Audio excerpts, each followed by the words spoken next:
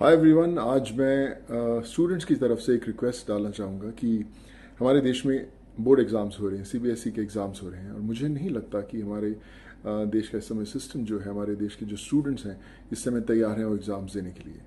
जब Saudi uh, में सिर्फ़ 600 केसेस थे तो एग्ज़ाम कैंसिल हुए मैक्सिको में 1300 केसेस थे एग्ज़ाम कैंसिल हुए। कुवैत में 1500 केसेस थे एग्ज़ाम कैंसिल हुए। हिंदुस्तान में एक लाख पैंतालीस हज़ार केसेस हैं।